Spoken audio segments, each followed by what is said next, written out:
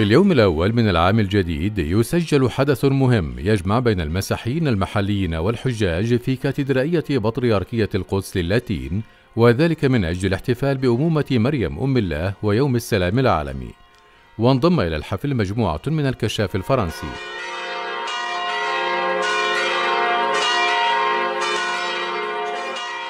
ترأس الاحتفال المونسنيور بير باتيستا بيتسابالا المدبر الرسولي لبطريركية القدس للاتين بالاشتراك مع المونسنيور ليوبولدو جيريلي القاصد الرسولي في القدس والأب فرانشيسكو باتون حارس الأراضي المقدسة والمونسنيور ماركوتسو النائب البطريركي للاتين والمونسنيور ويليام الشوملي النائب البطريركي للاتين في الأردن والمونسنيور كمال بطحيش والأب برنار ماريا ألتر رئيس الرهبان البندكتيين في كنيسة الرقاد والأب ريني هاسكوت رئيس الرهبان الترابيست في اللطرون وعدد كبير من الرهبان من جماعات دينية مختلفة.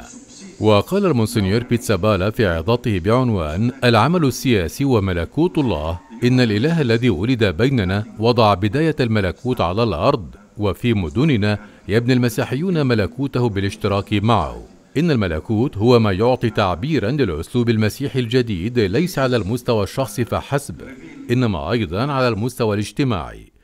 وقد شدد المونسنيور بيتسابالا على أن السياسة هي كل ما يبني السلام ويدافع عنه وينظم من خلال المعايير الخاصة به الحياة الاجتماعية.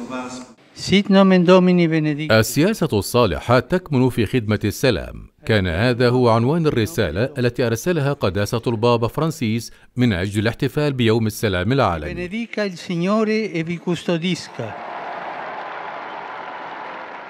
إن ملكوت الله لا يكمن في المدينة التي بنيت، إنما هو عبارة عن مدينة قيد الإنشاء، كونها تتواجد في العلاقات بين الشعوب. لذا فإن بناء ملكوت الله يعني البناء باستمرار في المدن حيث نعيش في واقعنا الإنساني العلاقات حسب تعليم السيد المسيح. ونحقق الكرامة والمستوى بين الرجل والمرأة والعدالة والمغفرة. عندما نعمل من أجل هذه القيم نبني ملكوت الله.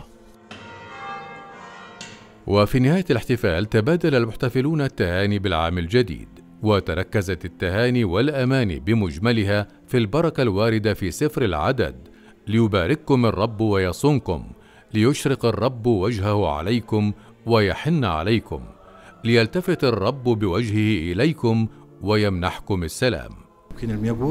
أمنية اليوم بالأخص لكنيستنا في القدس والكنيسة في العالم أجمع أن نكون سياسيين جادرين بمعنى أن يجيد الناس بناء ملكوت الله في مدنهم بقدرة الله وحده.